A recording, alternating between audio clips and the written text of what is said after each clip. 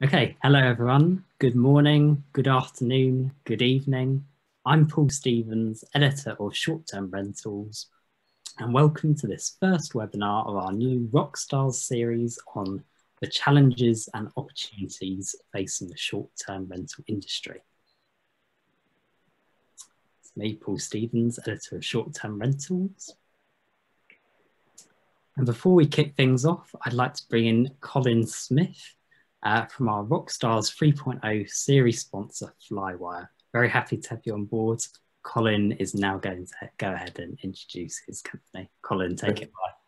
First of all, thank you, Paul, for having us. Uh, hi, everyone. Uh, honored to be here. I'll be brief so we can get into the discussion. Um, but Flywire is a global payments company. Uh, we're over 10 years old and we, we focus on high value uh, transactions, typically cross-border and domestic, um, and help cl travel clients all over the world uh, receive payments uh, from their guests um, in a variety of different fashions, whether it be credit cards, bank transfers, uh, alternative payment methods. Uh, the, the, company actually recently just went public on the NASDAQ uh, in May, so super exciting time at Flywire um, and really, really excited to be a part of this discussion. Um, and if anyone has any questions, feel free to reach out me, to me directly at colinsmythe at flywire.com or flywire.com backslash assessment, and uh, we'd be happy to answer any questions. So thank you again, Paul, for the time. Really excited to, to listen in. Thank you, Colin. Delighted to have Flywire on as a series sponsor for this webinar series. Thank you for your time. um, so next up, in terms of webinar guidelines, please keep your sound on mute and your camera off if you're not speaking. I'm being ably assisted by my colleagues Justin and Floor today. All of the details are in the chat for you, so please do take any questions you have there as well throughout the session. Hopefully we'll have a bit of time at the end for that and throughout. And a recording will also be sent round to everyone who's registered for the session after this has taken place. So given it's a big day for football today, particularly if you're English or German nationality or Swedish or Ukrainian, uh, please let me introduce our rock stars lineup for today. We're going to start with Fiona. Fiona, take it away. Good afternoon, everyone. Thanks so much for inviting me along today. I am the Chief Executive of the Association of Scotland's Self Caterers. We represent, we have a membership of almost 1,400 people, um, and those members will either have like one or two properties or up to 50 properties. So we think we probably represent something in the region of 30,000 properties in Scotland. We're the oldest um, organisation bar one, which is, I believe, um, yeah, not us. Anyway, so yeah, that's who I am. And um, we've got an awful fight on our hands in Scotland to do with short-term let regulations. Thank you, Fiona. And next up, Matt from Smart City Policy Group. Hi, everybody. My name is Matt Curtis. I've uh, been working on the short-term rental regulations issue for about 11 years now, working on this issue around the country and around the world, around the United States and around the world. I'm based in Austin, Texas, but this is a global issue. We've seen it pop up and be a very you know big problem in Europe, uh, in Dubai, uh, in Australia and New Zealand, in Japan, and other destinations around the world.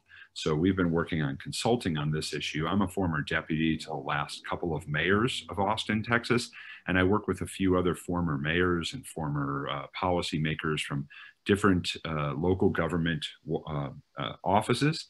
And we work on consulting with convention and visitors bureaus, destination marketing organizations, vacation rental management companies, and short-term let and vacation rental associations on how to create good, fair, effective regulations that achieve compliance. That's got to be the goal. How do we create regulations and rules that actually work? So often the rules that are created don't work. Uh, so uh, that's not good for the local uh, community and it's not good for the industry. So that's uh, uh, what we focus on. And we're excited about this conversation today. Thank you, Matt. And uh, thirdly, Carlos, please. Hello, hola, my name is Carlos. Uh, I am based here in Spain, south of Spain, Malaga. Uh, we are uh, in Andalusia, we are about 70,000 vacation rentals. Uh, it's a huge market actually in, in the very south, in actually Malaga, you know, probably already Malaga, Marbella, the area we got from those 70,000, we got like 40,000. And we got the Andalusia uh, Holiday Home Association, which I am the the president, and then I'm member of the board of the National Federation, which is FEVITUR, and then Fiona and me, we are both member of the European Holiday Home Association. That's how pretty much uh, doing the same as Matt was saying, like we, we basically uh, look after the, the interests of the uh, industry is defended uh, from Europe into local communities in different type of like legislations from uh, city planning to taxes to any kind of legislation. Thank you. Carlos. And last but no means least, Pam, please. Hello, everybody. My name is Pam Knudsen. I'm the Senior Director of Compliance Services at Avalara MyLodge Tax. We handle the compliance portion of short-term rentals from end to end, from everything from the licensing and registration on through the filing of the returns and the remittance of the tax liability that's associated with those. You know, similar to what Matt said, the regulations are around this industry are just continuing to increase and grow. And that's part of where we come into play is to make sure that we understand what those regulations are and can help the property owners and the property managers and the platforms make sure that they're meeting those regulations. So we work directly with everything from the individual property owner on up through the online travel agencies to help make sure that the regulations are being met and that uh, jurisdictions are happy with what's happening. Thank you, Pam. Back to you, Paul. So for context, we're going to be analysing the regular regulatory landscape in Scotland with Fiona, looking at Airbnb's community fund in Edinburgh and the delayed third public consultation on licensing laws. We'll be exploring the importance of advocacy during times like these, uh, with Matt and Carlos, for example. We'll be delving into Pam's piece on thriving amidst uh, change and disruption, and also Brian Chesky at Airbnb, his vision for this so-called travel redistribution term we've been hearing a lot and covering a lot recently on short-term rentals. So that just gives you a bit of a flavour of what we're going to be discussing today. But firstly, I, I would like to um, delve a bit more into the regular regulatory outlook in the various markets that our speakers are covering today. So I'm going to turn to you, Fiona, first, because um, when we're having our conversation before, you raised a lot of very interesting points about um, what's being proposed in Scotland right now is more draconian than in China. So I'd like you to give uh, sort of explore, give us a taste of what is happening, the current situation in Scotland. Um, of course, you've got this talk of re registration schemes in the tourist destinations like Edinburgh, um, and, and sort of where your role with the ASSC comes in. Thanks, Paul. Well, as Matt said, you know, I think we're facing these challenges all over the world, and um, in different parts of the world, they're kind of approaching it differently. Now, I know that in many parts of Europe, they're kind of watching what happens in Scotland, and we understand why they're trying to regulate because there's this kind of perception that we're an unregulated sector. Now, what I've always said is that I'm fully regulated you know, I've been operating a self-catering house in Scotland for 19 years.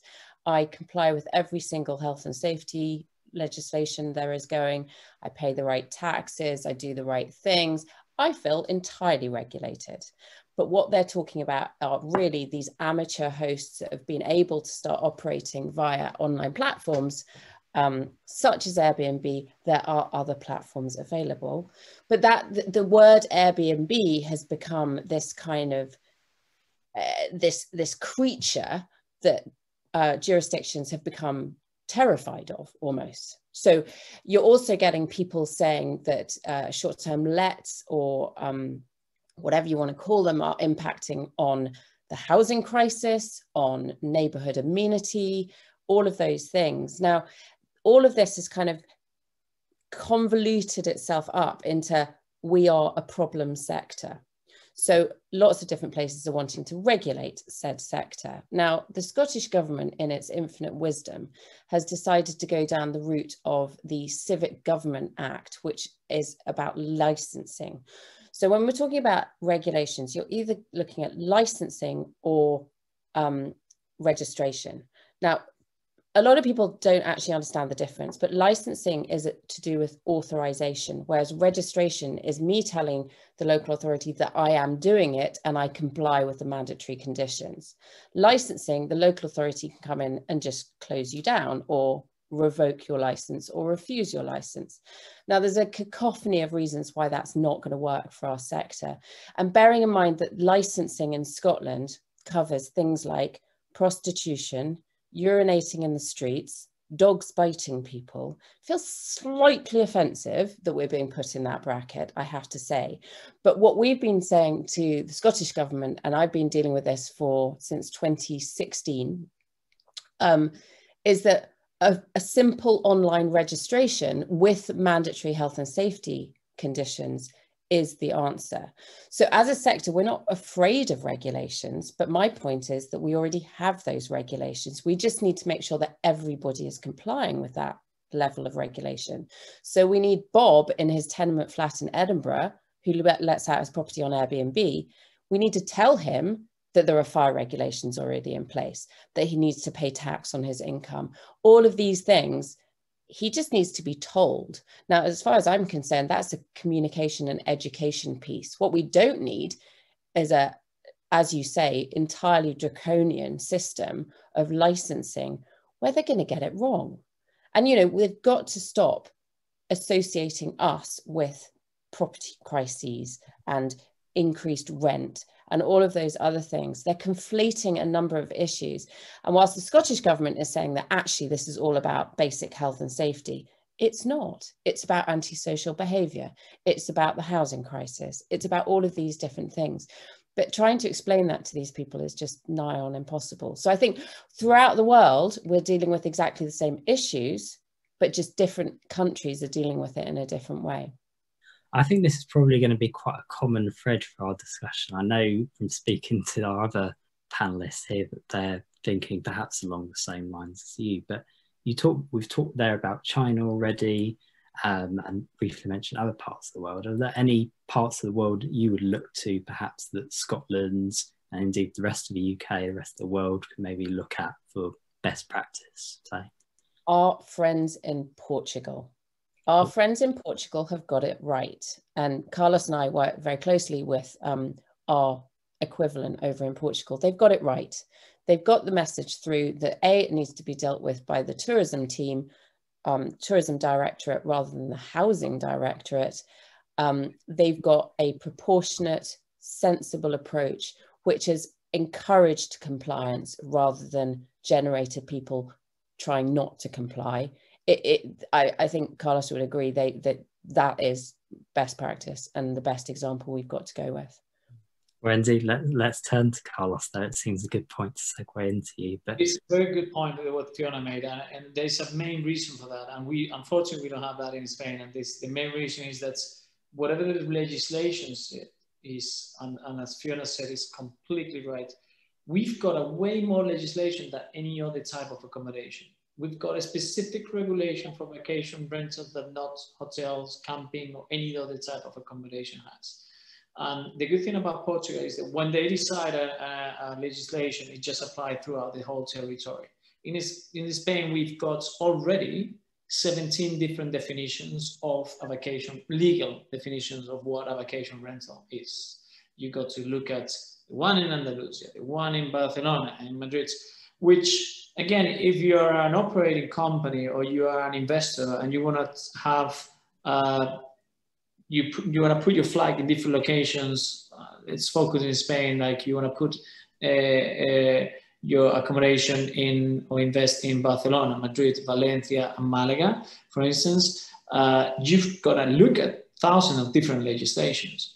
Actually, in Spain, they just approved that the platforms, it's a new call, it's a tax model, and they, they need to uh, all different platforms like Airbnb, Booking.com, they need to send to the tax office, which is with the specific details, with the check-in date, checkout date, the reference of the location of the property, and how much money it was per reservation. All that data, which is which is great. It's an exercise of transparency. It's going to help us understand what is the, the contributions in terms of taxes to the of our industry to, to, the, to, the, to the country. uh, but it's only specifically applying to vacation rental. So uh, as Fiona said, there's so much re regulation that uh, most of the people don't really know already. And, and Carlos, from our conversation as well, it sounded like vacation rentals, or however you would wish to define it, they're treated sort of fairly diversely across different cities, like you say, Madrid, uh, Valencia, San Sebastian, even where you are down in Malaga. How do you think vacation rentals, this type of lodging, has been treated, perhaps in comparison with other, maybe you could say, more traditional types of lodging? Well, there's two things happening. All the details, all the all the information, the data we have about vacation rental is a winning, let's say, is on the winning side of the table because the industry and the demand is going towards our type of accommodation.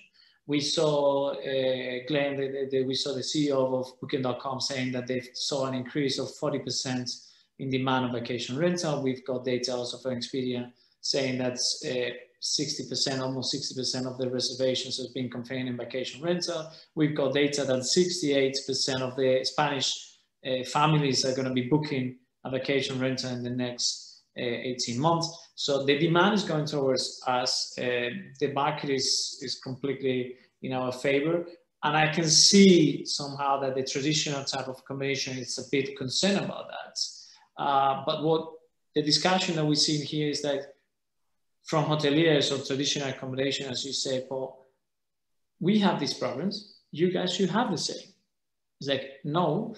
So if we saw that there are legislations and there are policies that are not making sense uh, and they are not uh, incentivizing investment and professionalism of the industry, why not take this opportunity uh, and, and make a change? so that's a kind of a discussion that it's on the table in terms of lobby uh, and, and vacation rental association. That's a kind of the fight and the negotiation on the table.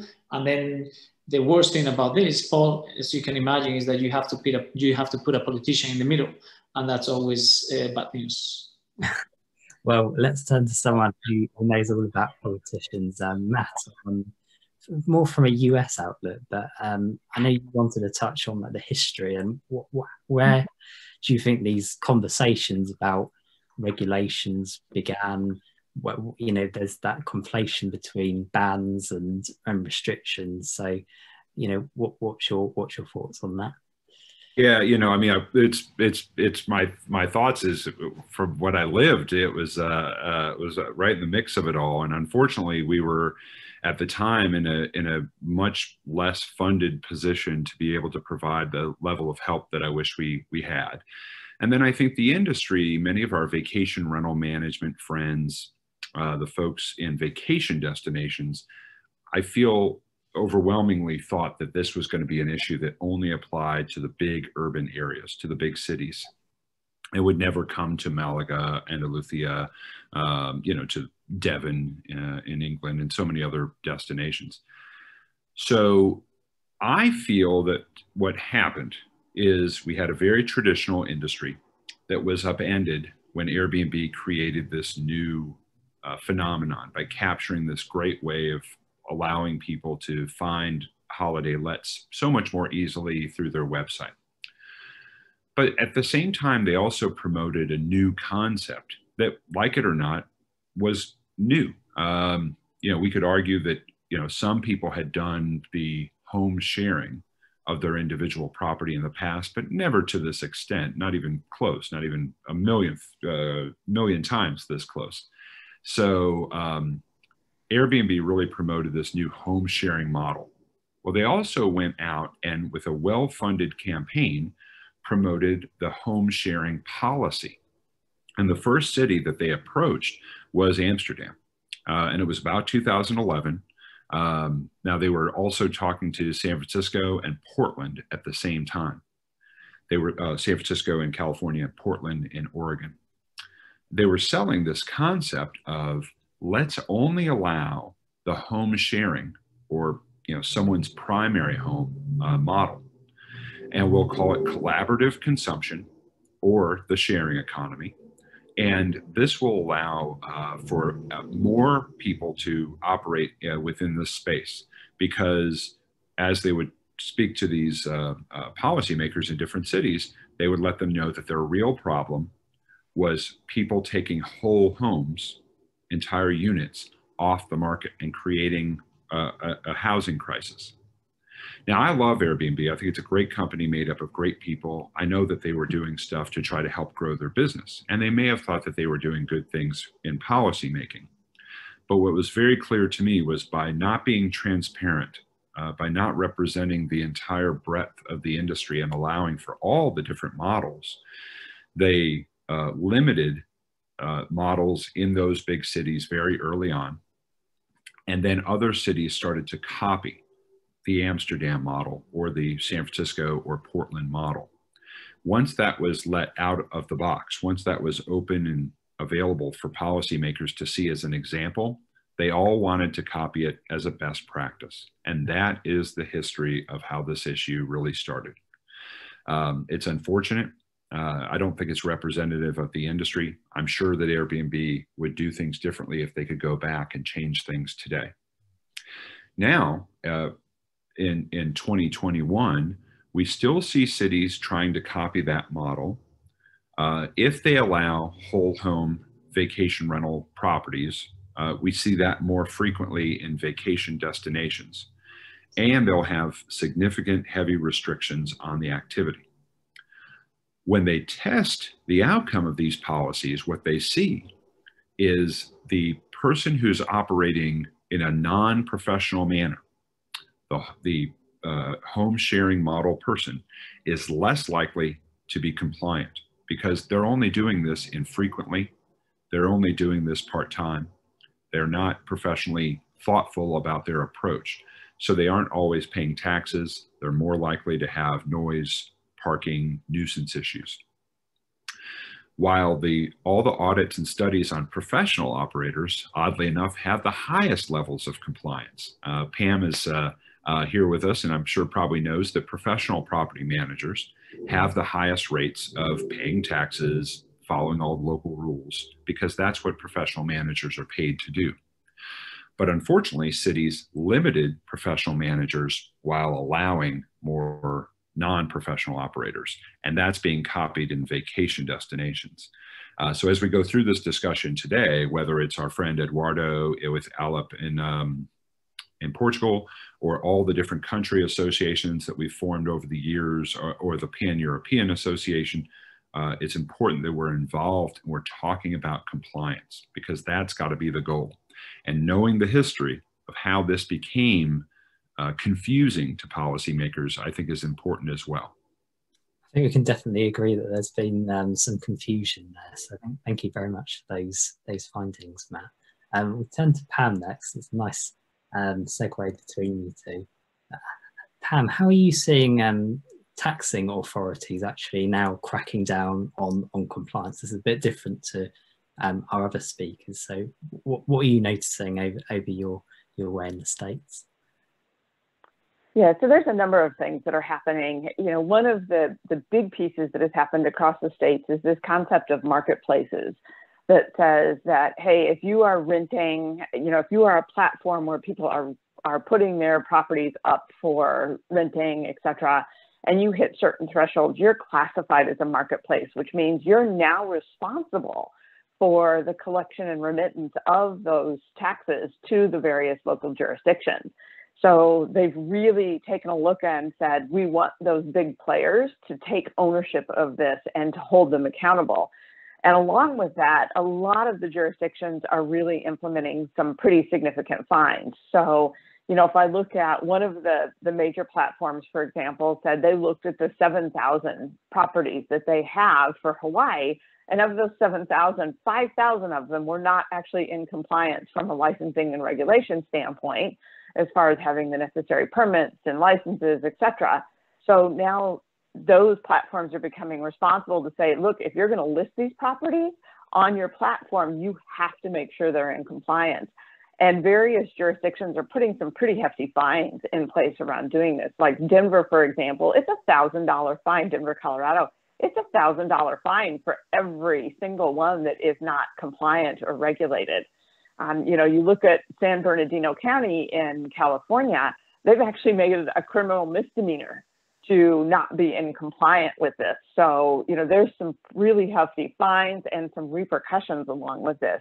So it's forcing two things. It's forcing the the individual property owners to say, oh, I have to do something, or I may have some pretty serious repercussions. And it's forcing the platforms, including the property managers, because property managers have been included in this concept of a marketplace to say we have to ensure that the people that are listing on our platforms or in our sites are compliant because we don't want to have not only do we not want to have the reputation, we don't want to have the liability that's associated with that. So, and as individual cities and states and counties do this, other ones, similar to what's happened to what Matt talked about in terms of looking at Portland and looking at San Francisco, other cities and towns look at what's happening in these other ones and say, hmm, we could do that too. And they start to do that because they want to make sure that that regulation is in place. And so it just continues to up the bar and the requirements around that and the difficulty that comes along with making sure that people are compliant with all the different things that come into play. Mm, thank you, Pam. And I see, uh, Fiona, you said that the Scottish government is proposing £50,000 fine for non-compliance. So, I mean... Or prison. Okay. Over we'll be in there with the prostitutes and stuff and the, and the gun trafficking all them lot as well. I mean, on, on that basis, do you think maybe the short term rental is seen as um, is maybe misunderstood or is being seen as something that is easy to kick down, scapegoat, etc., and maybe why this is the case, if so? Well, I think, yeah, you're absolutely right. I think we have a massive definition problem, and Matt's just sort of touched on that. You know, when does a professional self caterer become a short term let or a short term rental?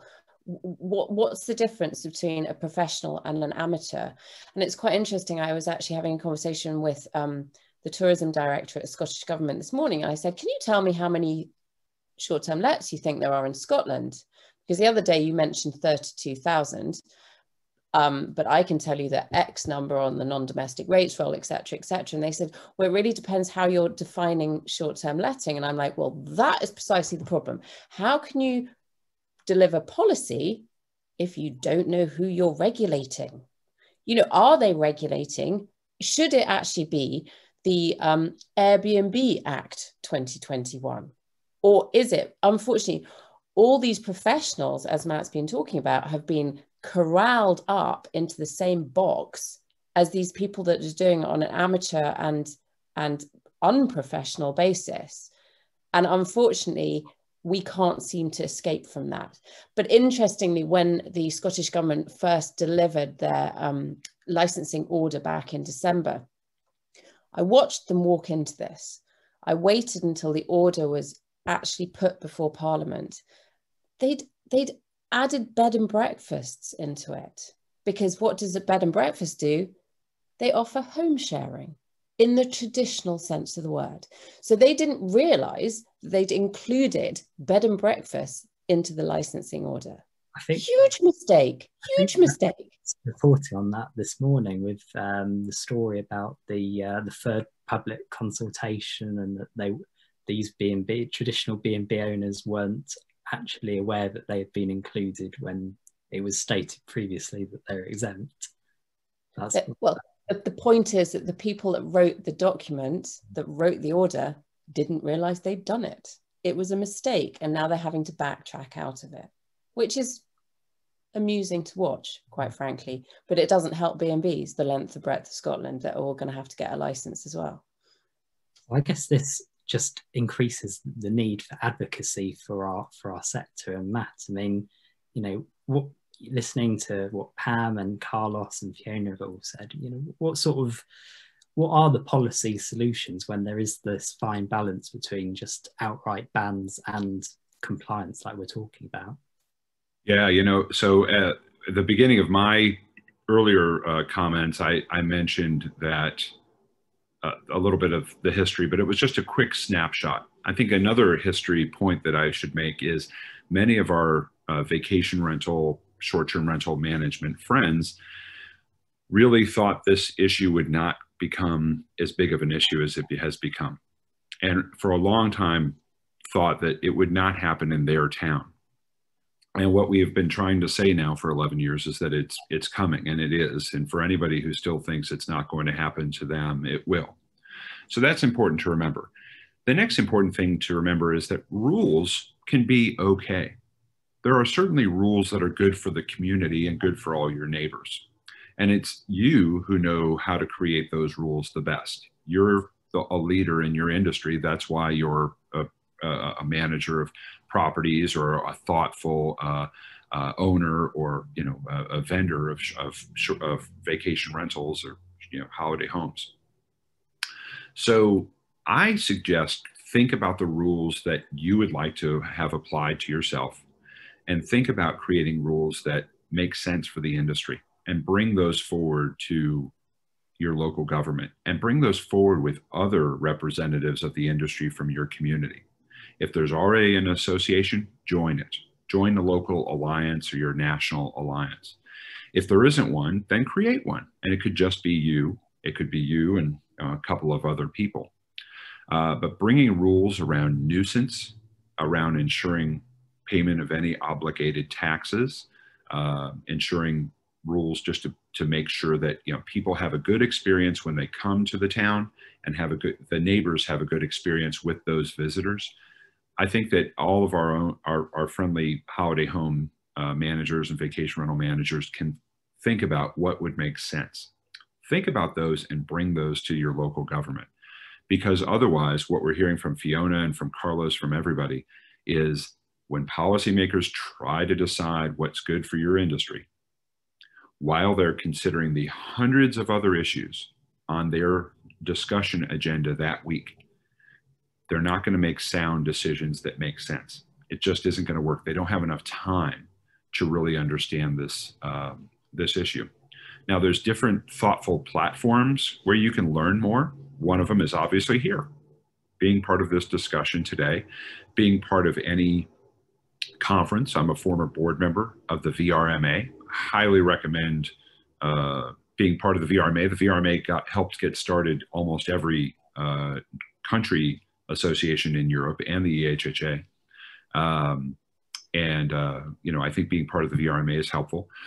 We're having, my own company is having a short-term rental, vacation rental regulations summit on September 1st during the U.S. Conference of Mayors in Austin, Texas. Uh, we do that every year. This will be our third one. So feel free to join us there. Or, you know, look out for any of the upcoming meetings of the EHHA or any of the country associations. Then take those learnings and bring them to your town hall and talk about how can we create these good regulations that would benefit the whole community. The economic impact of this activity is too big to ignore. These local governments need that economic impact and it's good, it's healthy economic impact. But at the same time, they're going to create rules. So help them create those rules. Just think about what makes common sense for you and then put that down on paper and bring that into uh, your local town hall, uh, your local government. Essentially, it sounds like it's th- th- this importance it, that is very important to be present and visible in communities. And I'll turn to Carlos next. We're talking about events and and all this with the EHHA as well. So, you know, from the work that you're doing with AVVA in, in Andalusia, uh, Carlos and FEVITUR, um, you know, do, do you think that the vacation rental industry is becoming more widely respected and, you know, with the sort of uh, things that, that, you're doing, um, you know, is it, how, how can it be better represented? I, I know that you're um, for example, doing a some, some of your own in Spain as well. So, yeah, how, how would you go about approaching that? Um, very interesting, very interesting topics that you guys are mentioning, Fiona, Pam, and Matt. It's it's quite a lot of information because as you as you said, like in, in an association, you get information from pretty much all the stakeholders in the industry, and and as uh, Matt was saying, if you if we as an industry we don't have a voice we are not structured and we're not organized then the legislators uh, and the policymakers they're just going to listen to the hoteliers So they're going to be the one deciding on your business. They're going to be the one that are going to, uh, obviously, they don't want any competition. So they're going to try to ban your business. So the fact uh, that, and the recommendation that's been said about associate, become a member of an association, be part of it. Uh, in Europe, we got HHA, EHHA, in Spain, FEVITUR, in Andalusia, AVVA. But if there's none, just create one because the, the actually, the, the actual politician, the policymaker is dying for an advice, is dying for data. They need your advice, they need your recommendation, they need to solve a problem. So if you become part of the solution, they want to work on that piece of paper that you uh, create to, to help them understand the industry instead of a piece of paper that is going to come for the hoteliers. So it's extremely uh, relevant to have a voice, to have a representation. How, how, how are we making this uh, happen, this uh, in, here in Europe and, and Spain? As you said, we, we do have B2 Summit. This is an event we, we're going to have an in-person event, finally. And in person, we're going to be able to see each other and do proper networking, finally, for once. And it's on the 28th and the 29th uh, October here in Malaga. So it's actually great weather. It's, it's a good place to be. And these kind of events, they, they should, and, and they've happened in the past. This is the sixth edition. And, and it's a great opportunity because we put together, Fiona has been there all the years, we put together the EHHA members, we put together the tech companies, the property developers, the investment, the tech companies, we get all together and we finally uh, throughout all the networking, then the panels, the conversation that we have with the everything get everyone get together with the politicians, with the policymakers. We actually show the numbers, the contribution that we have to the economy. They see the, the, the impact, the positive impact they see, so they get a wider perspective of what's happening uh, uh, and the impact again that we have. Just to give you an example, in Andalusia, six euros out of the 10 euros they each each 10 euros that they the holiday maker in a, in a vacation rental spends is spent in actual like a little shop a grocery a car rental. So we've got a very valuable clients a very valuable uh, guest and we need to present those numbers uh, on these kind of events to the actual policymakers to the to the audience out there so they they understand us uh, as they as it's been said, everybody think about, about the peer-to-peer economy, uh, the Airbnb, the Booking.com. It's a way more transactional uh, and, and complex industry. We are affecting the tourism, the, the residential tourism. Like we've got a lot of people that they come here to Andalusia, they buy a property, they spend six months of the year. The rest of the year is a vacation rental. You get a lot of that in vacation rental destination. We've got, we are super relevant, obviously in the real estate market with, uh, as a, for the golf uh, tourism, for the shopping, for the health tourism. So we are such a relevant Uh, industry in the tourism across the tourism industry that somehow these the, the politician and policymakers they still don't realize. So we are the ones that need to to make that happen. Again, events being if you cannot be a member of the of your local association,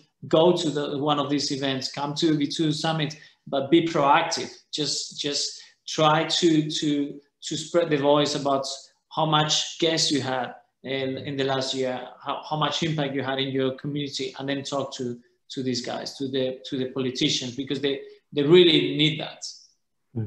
I was just going to jump on something Carlos had mentioned, you know, the opposition, the, the, the voices that so often diminish our industry and really, unfortunately, have the negative impact of driving up non-compliant behavior. Be- because you've got these uh, you know folks that are saying oh this is terrible and you must either create bans or restrictions that don't make sense what they wind up doing is driving the activity underground. Without fail the activity still goes on. It just goes on underground and creates a terrible experience for the local communities. So um, uh, in, in, in a strange sense the, the folks that are speaking out against this activity and is speaking in favor of bans or bad restrictions, they're actually creating a worse outcome for their community. One of the ways they do it is they just use anecdotal after anecdotal pieces of information. They, they tell stories, they expand about things that they heard. All of that is anecdotal, it's not data. So one of the important messages that Carlos uh, pointed out that one that you get when you form an association, that when you come together, even if it's just you being thoughtful about yourself, is you start to create real data. That's the only way you're going to ever defeat the anecdotal argument is by having data to be able to disprove um, the, the those angry voices and to be able to prove, hey, here's a better outcome that will help you achieve what you want for your community. Sorry to judge Paul on this because that's a very interesting point. When we had politician, media, hoteliers saying that vacation rents create an impact and an increase on the real estate market, we got research that the impact of the vacation rental on the real estate price affects uh, the, the impact is like below 2%. It's, I think it's 1.67% impact of the vacation rent and the real estate market. So that kind of data is super powerful, but again, you need to be legitimate to say that and send the message. Uh, I just want to bring uh, Pam in uh, on this next point because I think we also need to hear that um, operators you know how can these operators and owners how can they actually ensure they're remaining compliant in, in these times when the government requirements and standards are, are shifting certainly i think what are you seeing over, over there so I think there's a couple of things. I think, you know, Matt and Carlos and everybody has mentioned a few things in terms of the associations that are really kind of monitoring this, having a voice in it, I think really being involved in that type of a thing to make sure that you're being heard and that you are coming forth with data is a critical component. But it's time consuming and it's complicated and there's a lot of different things going on. So there are companies like Avalara whose our job and our role is to really just say, hey, here are the regulations and the things that you need to be compliant about if you're going to operate in this particular jurisdiction, et cetera you know the economic impact is is not just from a tourism tax it or from a lodging tax it's the economic impact to the local restaurants and to the local stores that people sometimes fail to remember and think about you know people think about it when they think about more traditional lodging but they don't necessarily realize that that same impact is happening when you have these short-term rentals and this home sharing and so making sure that you can you know provide that data while being compliant and saying, look, we want to be compliant. We want to help out the economy. We want to do all of this is really a critical factor to help being a voice and kind of shaping that. But again, knowing that you are compliant and, you know, so making sure that you've got something in place, whether it's an outsourced company like ours or the associations or whatever, to make sure that you know what the compliance regulations are and you can have a voice not only about the existing ones, but upcoming ones is a critical factor. And, and do you think this kind of results from the short term rental industry kind of going under the radar until now? Certainly, you know, from the work that we're doing at short term rentals and from what we're hearing, is now the kind of lodging of choice for a lot of travellers. Yes, I, you know, so to Fiona's point, there's a lot of, as she called it, unprofessional people, you know, ones that are doing it that are kind of below the radar. These are you know, individual property owners that they're like, oh, hey, I'm going to be gone for a couple months because I'm going to go down to Arizona in the wintertime. I'm going to rent my place out. They don't think about this from the standpoint of saying, hey, there's rules and regulations associated with this. And so that ends up causing a broader swath of problems. It is one of the things that the platforms like Airbnb, Vrbo, and the other platforms have brought to life is because now, you know, because most people are using something like that to rent their property. And that's one of the reasons that the jurisdictions have really targeted those places and those companies to say, we need you to make sure that these people are in compliance because you are seeing those ones that are flying below the radar. You know, again, the numbers that I talked about in Hawaii is the perfect example 7,000 and 5,000 of them weren't registered. I mean, that's definitely flying underneath the radar. And that's you know, that is one of those things that needs to change and people need to be, take this from a very professional standpoint. If you're doing this, you need to act as a responsible owner in terms of doing this so that not only are you protected, but you're also protecting the industry as a whole so you can continue to do this. So making sure you're compliant is a critical component of this. Thank you, Pam. Um, I know there's been a bit of a, a, conflict during this time, I'd say, between this perceived over tourism that some some people some people have coined this term now, um, and also the balance between that and um, attracting domestic travellers. I know Fiona, you've got some pretty strong opinions on on the term over tourism and really what that um, the connotations of that. But you know, how how do you think we can encourage people to to travel domestically and beyond maybe more traditional um, tourist destinations and and do it all compliantly as well? Well, I think you're absolutely right. I think the term over tourism is lazy. And it goes back to what Matt was saying about anecdote and narrative versus data. What is over tourism? When do you, when does one too many people arriving in your destination become over tourism? Now, what you do need to do, and absolutely, is make sure that you a manage the visitors to your country. So, for example, in Scotland, Visit Scotland, who is our marketing organisation, has done a fantastic job of getting people to Skye and to Edinburgh. And you constantly see pictures that you think, I really want to go there. And who was it on this call just earlier that said they wanted to go to the North Coast 500? They've done a brilliant job of marketing those destinations. But what we need to do is now manage our visitors, send people to Dumfries and Galloway, send people to the Isle of Mull, get people to come away from the Isle of Skye and realize that there are more places to visit than just these iconic hotspots. Now, again, we need the data. What, what is over tourism? You know, is it having a negative impact on those areas? You know, then we start looking at the tourism tax situation. And a lot of people in Scotland say, yeah, but if I go to Spain, I'm going to pay a tourist tax. But they don't actually realize that 70% of our market is domestic. So we're taxing ourselves to go on holiday in our own country. And they also don't realize that um, in Spain, the VAT level is so much further reduced than in Scotland. So we have 20% VAT in Scotland. We are 140 out of 140 in terms of cost competitiveness in Scotland.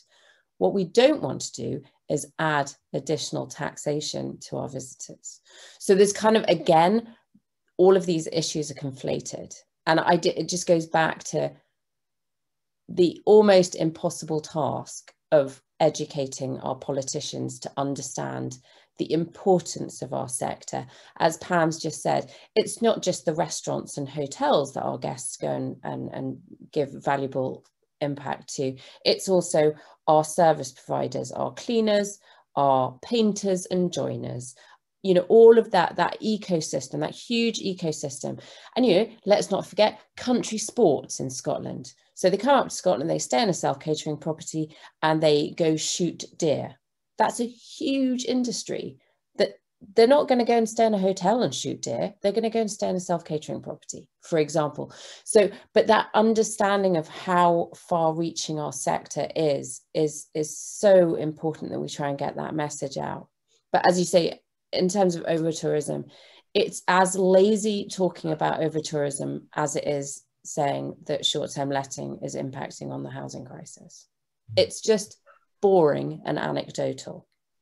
You know, uh, that's those are incredible points, and you know, one thing it, it, sparked a memory of mine as well that so many people in this audience and so many of the folks that I'm sure you're always trying to get engaged with, Fiona, uh, the, the the other managers, the other operators, uh, and Carlos and, and the folks from different corners of, of, of Europe is that so often the other managers and operators will think that the large OTAs at Airbnb and the other uh, folks will do all of this work for you. And you have to remember that they are going to take care of themselves first. And one of the things that we talked about at the front end of this conversation was uh, that Pam had mentioned were the regulations targeting the online marketplaces or the OTAs. So they're protecting themselves from those kinds of regulations first and foremost. They're not going to do individual battle for the vacation rental manager or operator until they make sure that they are safe from the rules that could apply to them. so that's why you need to be engaged because you need to look out for your own interests, just like you would in any other walk of life. No one else is going to do this for you. You've got to be engaged. Uh, and, uh, uh, you know, the, uh, the, it, it's surprisingly easy. And I haven't seen a single manager or operator get engaged with an association to uh, either, you know, uh, work on advocacy issues or anything else like that and not see their business grow many people think, oh, uh, you know, this is going to take away time from my business. I've seen every manager actually flourish successfully because they're more engaged as a thought leader in the industry and they do very well because of it.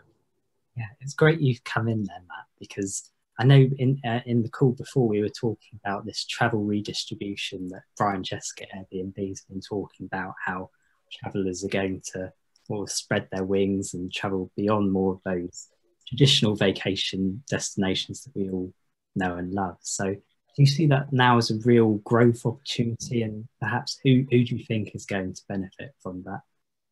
Well, I do think that your uh, the, the markets that Fiona was mentioning, the uh, the non, you know, A plus markets, but but the next markets down are going to see a, a, decent growth.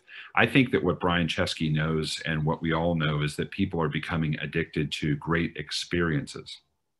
So it's not just about going to these beautiful destinations because there's beautiful destinations everywhere and they can have these great experiences everywhere, maybe at a, at a, at a more affordable rate uh, or maybe just with less, uh, uh, you know, uh, concern about, you know, competing for tickets.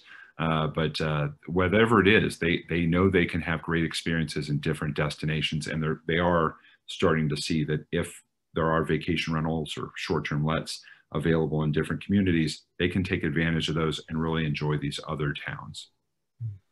And Carlos, in in uh, Andalusia, what, what do you see maybe as the main growth opportunities for our sector? Is it in these um, we were talking about the occupancy rates, and I need some good statistics there that would provide some encouragement. Yeah, basically the data we have is that, uh, especially in rural areas, uh, that's where the rural area and by the coast are the, the, the areas where we're getting more uh, demand. Throughout the pandemic, during the summer of the actual pandemic, we got a we had a 70% occupancy rates. We actually had property managers that they manage uh, their, their portfolio exclusively in like villas in rural areas. And they were in the middle of the pandemic recruiting staff because they were completely full. And now this, this year, we are already seeing in the last uh, month that we had, especially like through the weekends, that they've been fully booked. So there is a huge opportunity. What we see, there is a, a big change in the way that people see vacation rental is a way more normalized. Again, we are here talking about the legislation, the policymakers, but that's administration. Then what the market understand is that this is a very convenient uh, product to enjoy. Is uh, in in Andalusia we got 65% of our clients is families, uh, and then about almost 30% is couple. So this is a very convenient product for the markets, um, and it's it is uh, driving pretty good numbers, as I said. Um, some of the points that we mentioned, and you mentioned over tourism, again, um, and Fiona mentioned before the uh, like how how you cope with success, and I and I, in in our previous conversations, Paul, we said this article about uh, McKinsey, which is actually called Coping with Success they actually state many different resources for policymakers, for different administrations about how to manage that success because it's a way more efficient to manage the success than to actually achieve that traffic that creates so much wealth in your destination. There are many tools you can uh, work with happy hours for museums that you know that there are some bottlenecks and it created saturated streets with uh, queues, etc you can put uh, uh, leisure activities in different locations of the city, not only on the prime location, and the main street. So there are many resources that we can uh, work around. And I think that is the responsibility of the administration to work on that. It is the responsibility of administrations to drive a good uh, connectivity digital and physical in those rural areas that eventually uh, there's not that much uh, employment or there's that, not that many opportunities, this is a good opportunity. So this pandemic, I think, uh, put on the table all the different opportunities and accelerated a lot of the innovation and trends uh, that we're going to see uh, in the future. But then uh, definitely there's that work between private uh, organization and public organizations to be coordinated and try to, to achieve this to get this together. But then, as you said, uh, Paul, the numbers are uh, and the fact and the data that we have is pretty solid. It's about it's, it's now about being efficient and being um, flexible and fast uh, in the way we react to these opportunities. And uh, um, Fiona, I know you, you're speaking to the uh, Scottish government in a couple of minutes, so you can you can sort of sum this up quite briefly if you want. But how do you how do you maybe see how can this industry go from strength to strength as we emerge from the pandemic? Do you believe? I think, as Carlos has just said, um, we are going to be the holiday of choice for a long time to come. People are now not just holidaying in our properties, they're also working in our properties and using our properties for all sorts of different things that they never really realized um, that they could do. And I think, you know, the, the, the domestic tourism is, a, is this such a huge market. If we play our cards right, our sector is going to go from strength to strength. I have absolutely no doubt about it. We just need to A, make sure that regulations don't knock that on the head, and B, um, give people those quality experiences that they now demand. But I think I think we've got a hugely positive horizon to look forward to. Yeah, thank you. And I'll give the um, final word to Pam because you know we see a lot of uh, areas, Pam, that are still recovering from the pandemic. So you know we expect probably authorities to be um, you know enforcing restrictions um, more strictly. So how um, how do you think this will impact on compliance moving forward? I think, I mean, again, I think all of the jurisdictions are looking at this, all of the taxing authorities are looking at this in terms of, you know, not only their own budgets, but the economic impact in the general vicinity. And, and I think they're going to continue to figure out how do we enforce compliance? I think they're going to continue to figure out how do we what are the things that we put in place? Who can we hold accountable? How can we find these people that are kind of under the radar and make sure that they are in compliance? So, you know, I think it, it is one of those things that for the health of the industry, everybody needs to look at this and say, look, compliance is not, it's not trying to stop you from doing business. It's trying to make sure that you can do business for the long term. And so how do you get engaged and make sure that you're doing this? because to Fiona's point, I mean, the, the industry is changing. The the ability to, you know, vacation in your own backyard, that domestic travel, that domestic tourism that people discovered during the pandemic, where it's like, hey, I can go someplace that's a three hour drive away that I would not have considered going before because it was always, oh, get on a plane and fly someplace.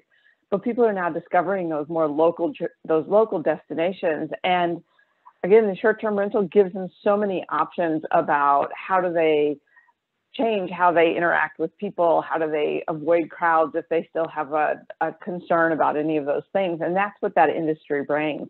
And so by making sure you're compliant and being involved and you know dealing with all of that, you ensure the health of the industry, not it's not a negative for you, it's the health of the industry that allows you to continue to, to be part of it going forward.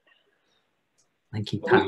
Paul, if you allow me, like compliance with PAMSA is actually super relevant, like compliance, but what we see in, in, a lot of destinations is that they're setting rules that are just impossible to compliance. So what we need to, we need to, to find that connection between the market demands that they are completely, so with the pandemic, they're completely new business models that are gonna just gonna be coming, like senior co-living, uh, spaces for uh, remote working, uh, service apartment is definitely going to increase the, the comfort of uh, brand residents.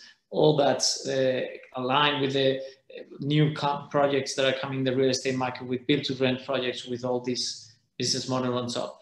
If the, the, legislation is, is not aligned with what the market is evolving and the demand, it's always going to be difficult to comply. Uh, and that's, uh, I think that's one of the biggest challenges. Thank you very much, Carlos. Well, thank you again to all of our contributors, to Fiona, to Matt, to Carlos, to Pam. We had lots more questions um, lined up, but I think we just had to um, let the conversation run its course and we've had some really interesting discussions today, so thank you. Well, we're going to be back in two weeks' time on Tuesday, the 13th of July, with the next Rockstars session, and that's on the importance of PR and hospitality. So I do hope you can join us. The sign up details are in the chat now, and please contact me at paul at internationalhospitality.media. That uh, again is in the chat if you'd like to contribute to any of our upcoming Rockstars webinars. We're also really looking forward to our inaugural in-person Urban Living Festival in London at Tobacco Dock on the 26th to the 27th October 2021. You can find out more information on our exhibitors, sponsors and partners at urbanlivingfestival.com. Really grateful to everyone's support. And for sponsorship opportunities, please do get in touch with my colleague Katie. Details are on screen now. Big thank you again to our uh, series sponsor Flywire and to Colin uh, for joining us today. Really grateful for your support.